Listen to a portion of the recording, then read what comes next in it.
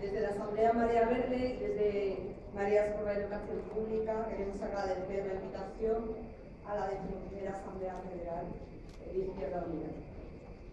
La Asamblea María Verde eh, no, no, brindamos en principio un apoyo a una única y exclusiva formación política. Entendemos que somos un espacio donde conviven diversas, eh, eh, convivimos desde la diversidad.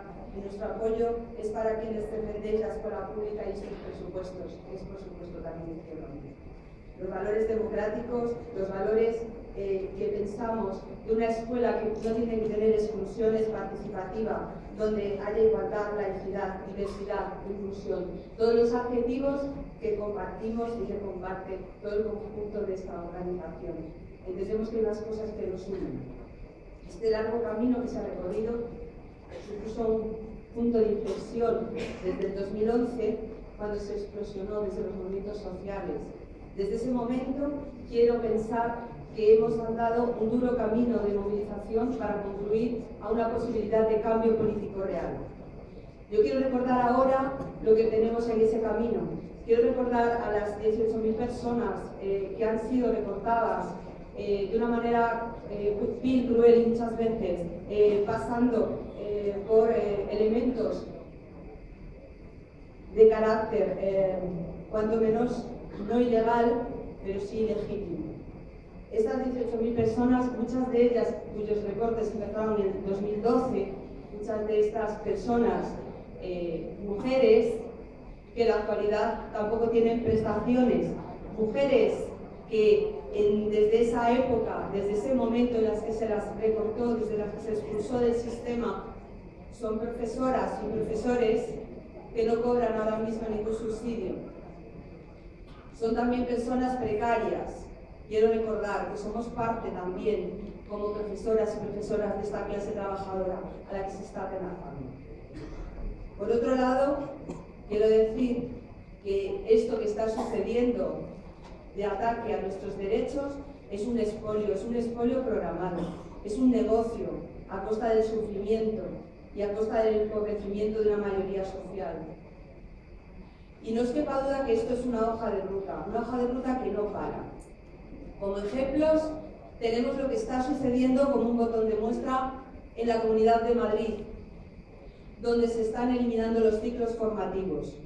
En la Comunidad de Madrid se están eliminando ciclos formativos de todos los barrios populares, de la ENIPA, de Moratalaz, de todos los barrios y de todas las zonas donde nuestras madres y nuestros padres estuvieron luchando porque no había siquiera, ni siquiera había eh, ni luz, ni teníamos agua, ni teníamos parques, ni teníamos bibliotecas, ni teníamos educación pública suficiente.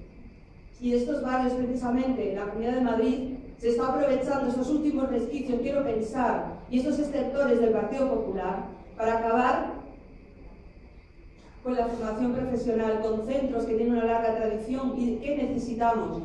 No solo nos están quitando la herencia de nuestros abuelos, de nuestros padres, sino también están dejando mermado el futuro de nuestras hijas y de nuestros hijos.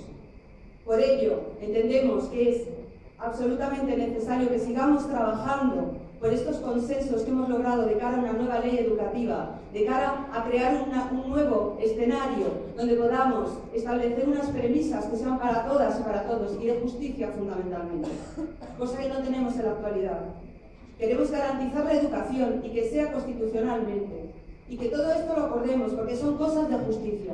Son elementos que nos unen a todas y a todos y ante los que no podemos permanecer inalterados, que no podemos permitir y no podemos consentir.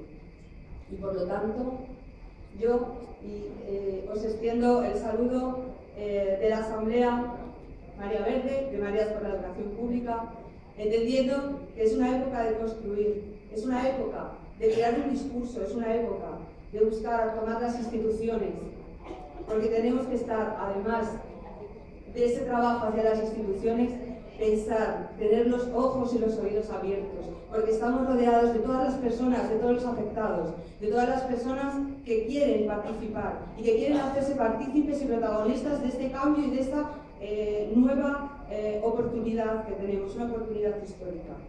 Yo creo que se abre esta oportunidad política con lo cual eh, creo que el futuro está más allá del día 26. Pero no obstante, seguimos viéndonos en las calles. Gracias.